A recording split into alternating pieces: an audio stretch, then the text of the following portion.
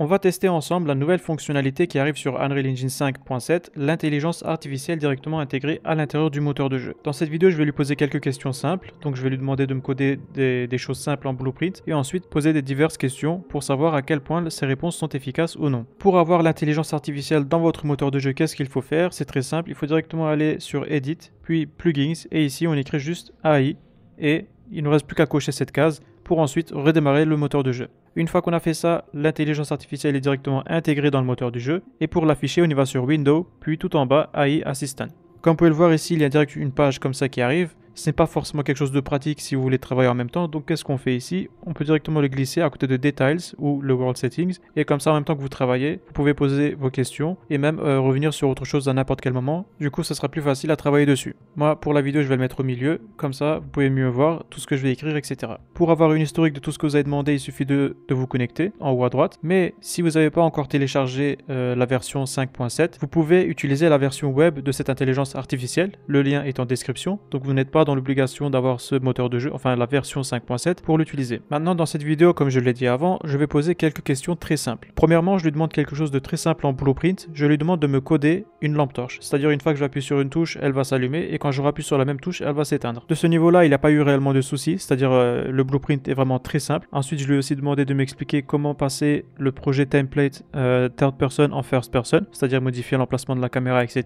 Ça aussi, il l'a réussi, donc il n'y a, a pas vraiment de problème. Mais quand il s'agit de poser des questions un peu plus complexes. C'est une chose que j'avais fait avant de faire cette vidéo et malheureusement je sais pas pourquoi j'ai pas pensé à, prendre en vidéo. Il avait du mal à m'expliquer en détail et ce n'était pas réellement utile euh, de la part de l'intelligence artificielle. Il m'a juste fait perdre mon temps en, résumé parce qu'il me disait des choses qui, qui ne m'aidaient pas réellement au sujet où j'avais posé la question. Il a le même problème que toutes les intelligences artificielles qui existent aujourd'hui, c'est qu'on a besoin de détailler notre question pour avoir la réponse qu'on souhaite. Souvent la réponse qu'il nous donne, même si le sujet est identique, elle peut vraiment être différente en fonction de la question que vous avez donnée pour une personne qui débute sur Unreal Engine ou même une personne qui a un niveau intermédiaire, souvent sur les explications, il saute les détails comme si nous, de notre côté, en tant que lecteur, on connaissait déjà tout le moteur de jeu. Mais si je devrais faire un résumé rapide, ça se voit qu'il nécessite encore plusieurs mises à jour, même si je ne vous apprends rien en disant ça parce qu'Epic Games nous l'a déjà annoncé que c'était une version expérimentale, l'intelligence artificielle reste tout de même utile pour les personnes qui débutent et qui souhaitent se renseigner directement à l'intérieur du moteur de jeu sans forcément passer par Internet, c'est-à-dire Google, YouTube, etc. Je lui ai aussi demandé de me faire un autre blueprint au sujet des sons, c'est-à-dire une fois que je rentre dans un box, normalement un son allait se déclencher. Le code en lui-même, je ne l'ai pas réellement réalisé, j'ai juste testé l'intelligence artificielle pour voir. En lisant sa réponse justement, j'estime que c'était plutôt correct. Assez souvent, quand je lui posais des questions simples, il me disait directement qu'il y avait une erreur ou que c'était pas adapté à Epic Games, etc. Du coup, il me donnait pas les réponses. Ensuite, moi j'ai testé d'écrire en anglais pour voir si le problème venait de, la langue, et là il me répondait. Donc de votre côté, si vous avez des problèmes avec euh, l'intelligence artificielle, même si arrive à répondre en français, n'hésitez pas à lui réexpliquer en anglais. Aussi posé une question qui était liée à l'optimisation. C'est une chose que tout développeur sur Unreal subit, c'est-à-dire quand on fait un projet sur euh, Unreal, on a souvent des problèmes d'optimisation. Donc je lui ai demandé comment est-ce que je pourrais optimiser le projet dans l'éditeur et en même temps pour les joueurs une fois fini. De manière générale, il a fait plutôt une bonne explication.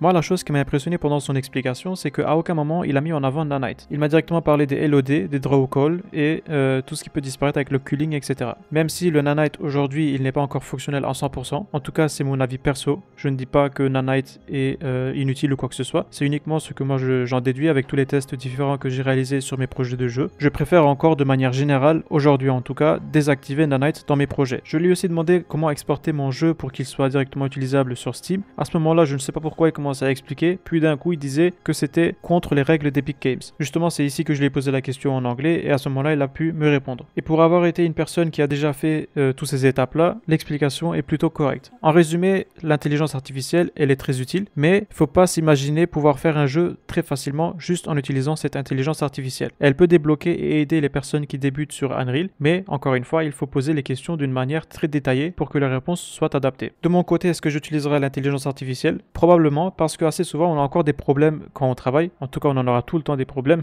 Ça, c'est quelque chose qui est normal dans, dans, les développements de jeux et surtout sur Unreal Engine 5. Je lui ai par exemple dit que j'avais euh, une erreur quand je faisais le package de mon jeu et je lui ai directement collé le message d'erreur qu'on a quand on faisait euh, le package. Et pour avoir été un problème qu'on a déjà résolu justement, l'explication qu'il nous a donnée est vraiment identique à tout ce qu'on a fait pour pouvoir résoudre le problème. C'est-à-dire que l'intelligence artificielle peut être très utile sur ce genre de situation et on n'aura pas besoin de sortir du moteur de jeu pour se renseigner sur internet, YouTube, etc. On peut directement rester dans le moteur du jeu. Dans cette vidéo, j'ai essayé de tester au mieux l'intelligence artificielle et donner mon avis personnel sur son utilisation. De manière générale, je ne sais pas si j'ai réussi à le faire, mais de votre côté, n'hésitez pas à l'écrire dans les commentaires, tout ce que vous pensez, etc. Merci d'avoir regardé la vidéo et à très bientôt.